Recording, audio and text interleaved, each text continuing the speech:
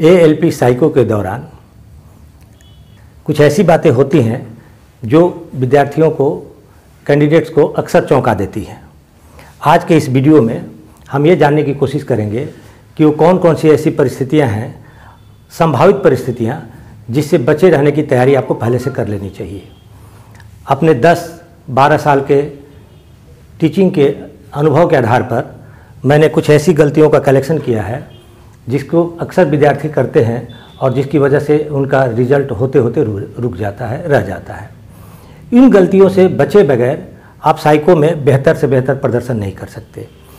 पहली सबसे बड़ी गलती विद्यार्थी ये करते हैं कि जितने भी अभ्यास पूर्व में पूछे गए हैं, जितने भी जाँच परीक्षण पहले हुए हैं, जितने भी प्रश्न अक्सर पूछे जा चुके हैं, उनका अभ्यास वो करते हैं। किसी नई जाँच के लिए वो तैयारी नहीं करते हैं। क्यों? क्योंकि उनके पास नए तरह के प्रश्न के सेट नहीं होते, उनको आइडिया नहीं होता है कि इस कंसेप्ट पर आधारित दूसरा प्रश्न भी पूछा जा सकता है और उसकी तैयारी हम कैसे करेंगे। तो कंसेप्ट के बारे में तो सोचते ही नहीं है।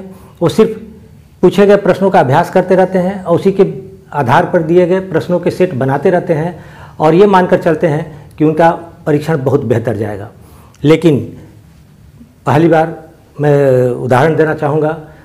Patna board Patna RRB board ने सबसे पहले एक चौंकाने वाला प्रश्न पूछा था, जिसके लिए कोई भी विद्यार्थी पहले से तैयार नहीं था। और वो था कि ब्रिक्स की जगह पर उन्होंने बिल्कुल एक नया जाँच परीक्षण लाया, और वो था क्यूब, हिडन क्यूब। ब्रिक्स भी थ्री डायमेंशनल फिगर है तो होता है, ब्रिक्स भी त्रिआयामीय चित्र होता है, और क्यूब भी त्रिआयामीय चित्र होता है। दोनों ही थ्री डायमेंशनल फिगर पर आधारित प्रश्न थे, लेकिन ब्रिक्स का अभ्यास तो उन्होंने बहुत बेहतर तरीके से किया था। उसी कंसेप्ट के आधार पर थोड़ा सा शेप बदल दिया गया कि क्यूबॉइड को क्यूब बना दिया गया, घनाभ को घन बना दिया गया, जिसके चलते जो जिन्होंने कंसेप्ट नहीं सीखा था कंसेप्ट की जिनको जानकारी नहीं थी, वो पूरी तरह से हताश और निराश महसूस कर रहे थे। मुझे याद है उस समय विद्यार्थियों की घबराहट कितनी ज़्यादा बढ़ी हुई थी। उनको लगता था कि उनके हाथ से नौकरी छूट रही है। और वास्तव में छूटने का रीज़न भी यही था, क्योंकि उन्होंने घन का कंसेप्ट नहीं सीखा था थ्री डायमेंशनल फिगर का कंसेप्ट नहीं सीखा था, सिर्फ़ उन्होंने अभ्यास किया था। तो नया परीक्षण जब भी आपको मिलेगा, आप चौंक जाएँगे। और इस बात को मान के चलिए कि जितने भी आर के साइट पर प्रैक्टिस के सेट दिए गए हैं, उनसे हटकर भी प्रश्न पूछा जा सकता है। और उसके लिए आपको तैयारी करके रखनी होगी कि थ्री डायमेंशनल प्रश्नों के आधार पर हो सकता है कि किसी बोर्ड में ऐसे प्रश्न पूछे जाएँ जिनमें घन और घनाभ, यानी क्यूब और क्यूबॉइड दोनों सम्मिलित हों। तब उस परिस्थिति में आप इसको कैसे सॉल्व करेंगे, कैसे हल करेंगे? इसके लिए आवश्यक है कि आपके पास कंसेप्ट होना चाहिए। दूसरा, अत्यधिक अभ्यास। अत्यधिक अभ्यास का बहुत ज़्यादा नुकसान होता है। विद्यार्थियों को लगता है कि अत्यधिक अभ्यास करेंगे तो उनका टेस्ट बहुत बेहतर जाएगा। इसके बारे में दो गलतियाँ अक्सर विद्यार्थी करते हैं। इसकी एक रोचक घटना मैं बताऊँगा। कि पिछले साइको के दौरान एक स्टूडेंट मेरे पास आया और उसने मुझे बताया कि, सर, पूछा उसने कि, सर, कितने घंटे की प्रैक्टिस से मेरा साइको निकल जाएगा? तो मैंने जवाब दिया कि, चार से पाँच घंटे प्रैक्टिस करोगे प्रतिदिन और वो भी लगातार नहीं, ब्रेक दे दे करके तो तुम्हारा साइको का रिज़ल्ट आ जाने का चांसेज है। उसने कहा कि, सर, सिर्फ़ चार पाँच घंटे के प्रैक्टिस से साइको निकल जाएगा। मैंने कहा कि, अगर पाँच साल, पाँच घंटे के प्रैक्टिस से तुम्हारा साइको नहीं निकलेगा तो पंद्रह घंटे के प्रैक्टिस से भी नहीं निकलेगा। तो वो आश्चर्य से मेरी तरफ़ देखने लगा और बोला कि, सर, आप बिल्कुल सही बोल रहे हैं। मेरे साथ यही हुआ है। जब से मेरा रिज़ल्ट आया रेलवे का, मैं सुबह आठ बजे से रात को आठ बजे तक बारह घंटे कंटिन्यू प्रैक्टिस करता रहा बीच में खाने पीने के और बाकी कामों के अलावा। मैं सिर्फ़ प्रैक्टिस ही करता रहा और दो तीन साइको में दे चुका हूँ और मैं डिस्कालीफाई कर जाता हूँ। मेरी समझ में आज तक नहीं आ रहा था कि ऐसा हो क्यों रहा है। तो एक बात का ध्यान रखिए, ये मनोवैज्ञानिक परीक्षण है। आपके माइंड का जाँच है। और माइंड से काम कैसे लिया जाए, ये आपको जानना होगा। अगर आप ओवर प्रैक्टिस करेंगे तो आपका दिमाग थक जाएगा नेचुरली थक जाएगा थक जाएगा तो दिमाग उस काम को एक्सेप्ट ही नहीं करेगा जो आप उसे ज़बरदस्ती कराना चाहते हैं। तो दिमाग से काम कैसे लें और किस तरह से हम उसका सही उपयोग करें, ये तो आपको बेसिक कंसेप्ट जानना ही पड़ेगा। और ओवर प्रैक्टिस करेंगे तो आप उसका ज़रूरत से ज़्यादा इस्तेमाल करेंगे और ज़रूरत से ज़्यादा अगर हम इस्तेमाल करते हैं तो मशीन भी खराब हो जाती है तो फिर भी दिमाग है। इसलिए आपको ओवर प्रैक्टिस से बचना है। किस वक्त अभ्यास करें कितनी देर तक अभ्यास करें और अभ्यास करने के दौरान किन किन बातों का ख्याल रखें, इसको तो बहुत बेहतर तरीके से आपको जानना होगा, तभी आप साइको में अच्छा प्रदर्शन कर सकते हैं, अन्यथा साइको में आपका मार्क्स, अपेक्षित मार्क्स आपका आना मुश्किल हो सकता है।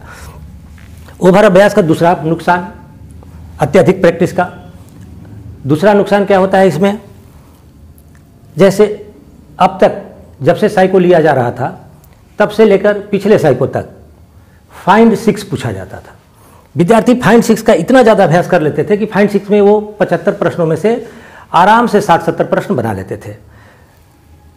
2015 के साइको में पहली बार फाइंड सिक्स की जगह पर फाइंड नाइन पूछ दिया आरआरबी ने। किसी आरआरबी में पूछा गया फाइंड नाइन फाइंड नाइन का प्रश्न आया। विद्यार्थियों को विद्यार्थियों ने अपने दिमाग को तो ट्रेनिंग दिया होता छः पकड़ने के लिए। अब उसको काम मिल गया नौ पकड़ने का। नतीजा क्या हुआ कि शुरू में तो कुछ देर तक उन्होंने नाइन खोजा और उसके बाद उनका दिमाग ऑटोमेटिकली शिफ्ट कर गया सिक्स पर और उसके बाद वो फाइंड सिक्स करने लगे। बाद में उनको दिमाग में आया कि अरे, हमको तो फाइंड नाइन करना है। तो फिर से छः से नौ पर गए और जब थोड़ा सा कंसंट्रेशन उनका इधर से उधर जाता था, फिर उनका दिमाग वही पुराना फाइंड सिक्स करने लगता था। यानी अत्यधिक अगर आप प्रयास करते हैं कंसंट्रेशन नहीं बढ़ाते हैं और सिर्फ़ प्रैक्टिस करते हैं तो जैसे ही प्रैक्टिस करें तो आपने तो प्रैक्टिस किया हुआ फाइंड सिक्स का। अब आपको फाइंड नाइन करना है और फाइंड नाइन करने के लिए आपका कंसंट्रेशन शिफ्ट होना चाहिए सिक्स से नाइन पर, लेकिन आपने कंसंट्रेशन बढ़ाया ही नहीं है तो आपका दिमाग ऑटोमेटिकली फिर फाइंड सिक्स करने लगेगा। इसलिए आपको किसी भी तरह के अंक को पता करने के लिए, किसी भी तरह के अंक को खोजने के लिए अपने दिमाग को तैयार रखना पड़ेगा और इसके लिए आपको कंसंट्रेशन का अभ्यास करना पड़ेगा। क्योंकि फाइन नाइन या फाइन सिक्स का प्रश्न कंसंट्रेशन की जाँच करने के लिए, एकाग्रता की जाँच करने के लिए पूछा जाता है और अगर आपका कंसंट्रेशन सही नहीं है सिर्फ़ प्रैक्टिस के दम पर आप उतना बेहतर कर लेते हैं तो फिर कभी भी आपको चौंकाया जा सक, चौंक सकते हैं परीक्षा में। हो सकता है कि फाइन नाइन की जगह पर अब फाइन एट आ जाए, या फाइन टू आ जाए, या फाइन सेवन आ जाए। उस परिस्थिति में आप फिर क्या करेंगे? क्योंकि आपने तो कंसंट्रेशन बढ़ाया हुआ ही नहीं है। या हो सकता है कि कोई नई टेस्ट बैटरी आ जाए कंसंट्रेशन की जाँच करने के लिए। उस परिस्थिति में आपको परेशान होना पड़ेगा, आपकी उलझनें बढ़ सकती हैं। तीसरा और सबसे इंपॉर्टेंट है, परीक्षण के दौरान विद्यार्थी क्या गलती करते हैं? साइको में और इंस्ट्रक्शन में साफ़ साफ़ लिखा हुआ रहता है कि अपने बगल वाले विद्यार्थी से ये जानने की कोशिश न करें कि उसने क्या बनाया है और क्या नहीं बनाया है। उसके बावजूद कुछ विद्यार्थी ऐसी गलती कर रहे हैं, कर लेते हैं। एएसएम का पिछला जो साइको हुआ था, उसमें एक मेरे विद्यार्थी ने यही गलती की थी और उसने बड़ा रोचक अपना अनुभव सुनाया। उसने कहा कि, सर एएसएम के साइको में जो पहला प्रश्न पूछा जाता है, वो इंटेलिजेंस टेस्ट का होता है क्लासिफिकेशन का होता है और उसमें पैंतीस प्रश्न पूछे जाते हैं। मेरे विद्यार्थी ने सिर्फ़ ट्वेंटी एट, अट्ठाईस प्रश्न बनाए थे और उसने बगल वाले से पूछा कि तुमने कितने बनाए हो? बगल वाले ने बताया कि मैंने तो थर्टी फोर बनाया है आउट ऑफ़ थर्टी फाइव अब मेरे विद्यार्थी के, की घबराहट बढ़ गई। उसको लगा कि मेरा स्कोर बहुत कम हो जाएगा और इसका स्कोर बहुत ज़्यादा हो जाएगा। और इस थोड़ी सी नेगेटिव सोच की वजह से, और ये नेगेटिव सोच क्यों आया? क्योंकि उसने अपने परफॉर्मेंस का परफॉर्मेंस की तुलना अपने बगल वाले विद्यार्थी के साथ कर ली। बगल वाले विद्यार्थी का परफॉर्मेंस ज़्यादा बेहतर था, इसका परफॉर्मेंस थोड़ा खराब लगा खराब लगा और इसको ये लगा कि अब मेरा रिजेक्शन हो जाएगा, मैं तो चुना नहीं जाऊँगा। और उसकी नर्वसनेस उसकी घबराहट, उसका हार्ट बीट इतना बढ़ गया कि उसने बताया कि, सर, मेरा हाथ पैर बिल्कुल एकदम जलने लगा ब्लड सर्कुलेशन बढ़ गया, चेहरा मेरा लाल हो गया। अब समझ में नहीं आ रहा था कि मैं क्या करूँ। लेकिन उसी वक्त आपका बताया हुआ तरीका कि अपने नर्वसनेस को तुरंत कैसे कंट्रोल करें, मैंने उसको शुरू कर दिया और एक मिनट के अंदर अंदर मेरा नर्वसनेस कंट्रोल हो गया। उसके बाद जो था odd number addition odd number addition में मैंने 30 में से 26 प्रश्नों को हल किया और मैंने फिर भगत वाले से पूछा। फिर उसने एक दोबारा गलती की, लेकिन इस बार थोड़ा आंसर उसके पक्ष में मिला तो इसलिए इसकी स्थिति में और सुधार हुआ। बगल वाले ने बोला कि मेरा तो 22 बना और इसने 26 बनाया था। तब इसको लगा कि नहीं, मेरा अच्छा जा रहा है और मैं कम्पीट कर सकता हूँ और उसका रिज़ल्ट आया भी। वो सेलेक्ट हुआ एएसएम में और अभी पोस्टेड है, नौकरी कर रहा है। तो इन 10-12 वर्षों के दौरान मैंने सीखा है देखा है कि विद्यार्थी कौन कौन सी गलती करते हैं और उन गलतियों से किस तरह से बचे, इस पर आपको काम करना होगा। तभी जाकर आप साइको में बेहतर से बेहतर प्रदर्शन कर सकते हैं, क्योंकि ख्याल रखिए, ये आपके माइंड का जाँच है। आपके प्रयास का, अभ्यास की, आपके प्रैक्टिस का जाँच नहीं है। इसलिए जब भी आप ओवर प्रैक्टिस करेंगे तो खतरा आपके पास रहेगा। जब भी आप नए कंसेप्ट के लिए तैयार नहीं रहेंगे तो खतरा आपको मिल सकता है, खतरा आपको झेलना पड़ सकता है।